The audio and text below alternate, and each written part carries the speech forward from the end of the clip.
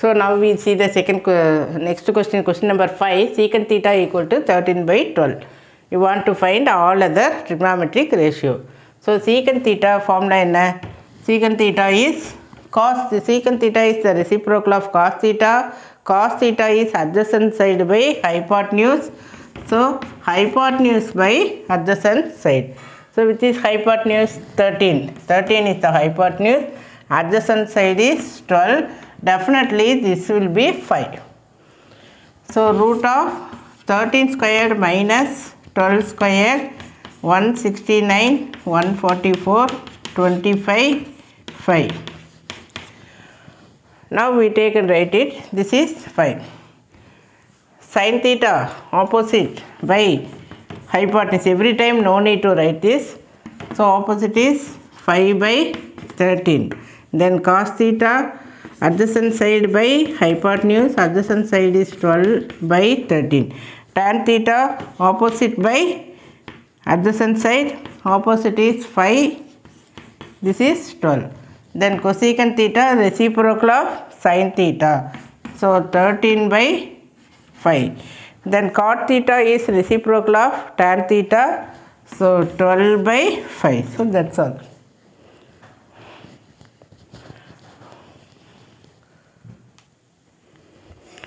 now question 6 if angle a and angle b are acute angles acute angles means less than 90 degree such that cos A equal to cos B. So given cos A equal to cos B.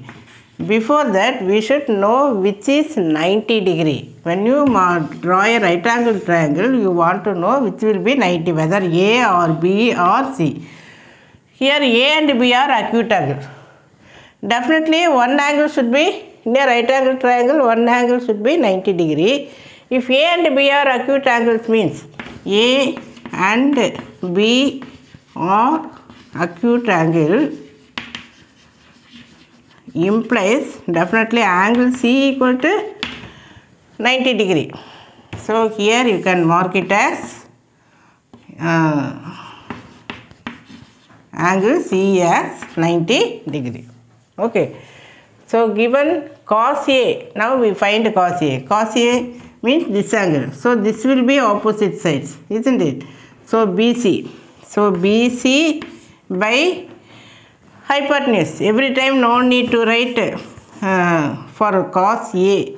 So A means uh, here this will be adjacent. Cos A means adjacent side by hypotenuse, isn't it? So this is adjacent side by hypotenuse.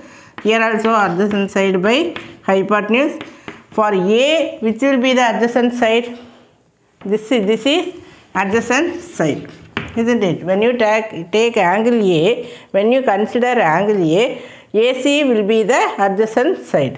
So AC by hypotenuse. This is definitely hypotenuse because opposite to 90 degree means that denotes the hypotenuse. So A, AC by AB. Next cos B for angle B. Consider angle B now. This is adjacent side. BC is the adjacent side. So here you write BC by hypotenuse normal. Now AB AB cancel. So AC equal to BC.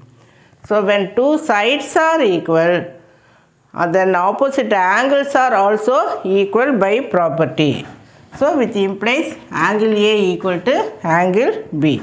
For AC, opposite angle is angle B. For BC, opposite angle is angle A. So which implies hence the result. Thank you.